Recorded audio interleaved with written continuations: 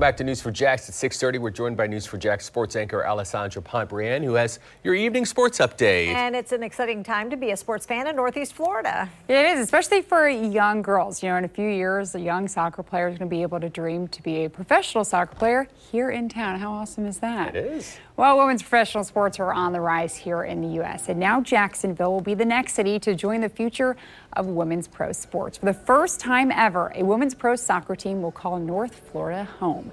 Today, Jax USL held a press conference to update us on the historic efforts to bring a second major league team to the Jacksonville area. The soccer club will also be the second women's pro sports team in the entire state. Well, founding owner Ricky Caplin says their new stadium will be one of the first that is built for female sports as the focus, and they're hoping to build the first community-based stadium in town. The USL Super League will have eight teams debut next year, with five more teams expanding the league in the following years.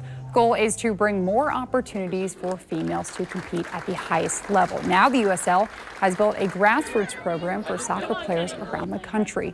Former Florida Gators women's soccer head coach Becky Burleigh will join the team in an advising and consulting role. Know, there, there's nothing I think that brings a community together like sports.